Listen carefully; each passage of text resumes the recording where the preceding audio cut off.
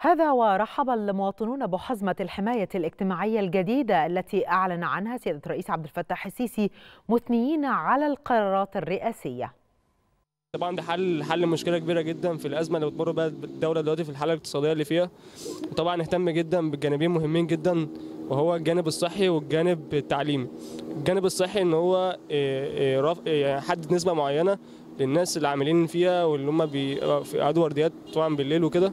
وطبعا نفس الجانب التاني في الجانب التعليمي اللي عاملين في الشو في العمل الجامعي أو التعليم العام بشكل عمومي كل امتنان وكل شكر لسيادة الرئيس على على حرصه على حمايتنا من الغلاء ال- اللي إحنا رايحين فيه وإن هو يعني حريص إن إحنا نطلع لقدام وإن إحنا نكون مواكبين ال- الموجة اللي بتحصل دلوقتي دي. أنا سعيد جدا بقرار رئيس الجمهورية تخفيف الأعباء آه، المعيشة عن المواطنين وزيادة الحماية الاجتماعية بالنسبة للمعيشة وبن- وبزيادة الأجور بنسبة 50% آه، اللي هي تبدأ من 1000 ل 1200 جنيه.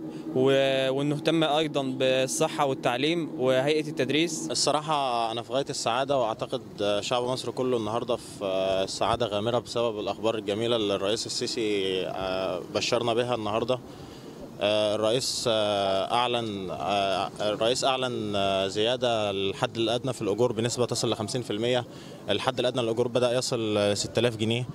آه، وبصراحة دي حاجة جميلة جدا لل- للعاملين في القطاع العام في الدولة.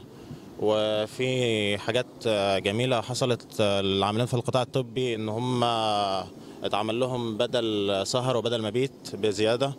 والعاملين بالقطاع التعليمي ما قبل الجامعي والقطاع التعليمي الجامعي زيادات جميلة. الحمد لله القرار بتاع النهارده ده هو جالنا كمفاجأة سعيدة لينا كلنا كشباب والسن بتاعنا إحنا يعني النهارده يكاد يكون ده خبر يعني نقلنا من من من مكان لمكان تاني خالص.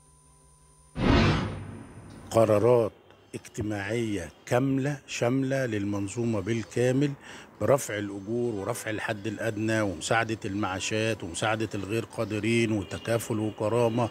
كل ما هو يخص المواطن المصري مفاجأة من العيار التقيل بتنزل على الشعب المصري أمس تسلك صدوره من الفرحة العارمة. ونشكر فخامة الرئيس عبد الفتاح السيسي على ما يشعر به آه، للمواطن المصري البسيط.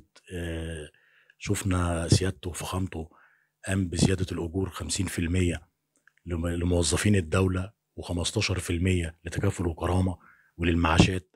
آه، شفنا سيادته قد إيه حاسس ولامس الشعب المصري بيعاني وحاسس بيه على الأرض النهارده. أنا بتوجه بكل الشكر لسيادة الرئيس عبد الفتاح السيسي لإصدار أكبر حزمة للحماية الاجتماعية ودي الحزمة التاريخية آه، ب- بإجمالي مبلغ بنتكلم ب 180 مليار جنيه آه، ده رقم مش قليل في ظل الأزمة الاقتصادية العالمية اللي إحنا بنمر بيها.